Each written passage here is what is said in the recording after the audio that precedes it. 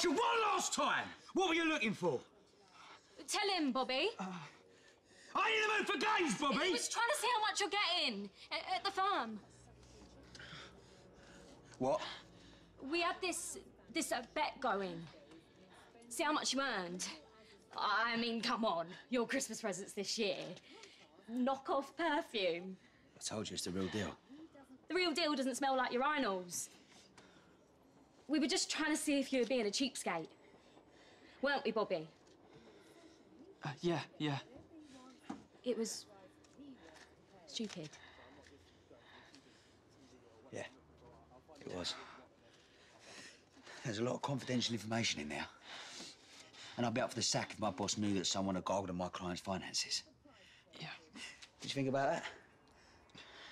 No. Sorry.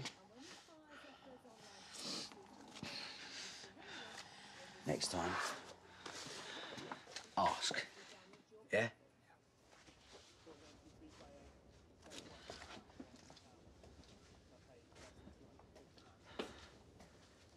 What the hell are you playing at?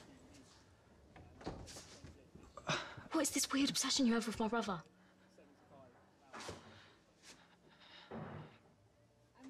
Uh, it's nothing. I think I should go. Yeah, I think you should too.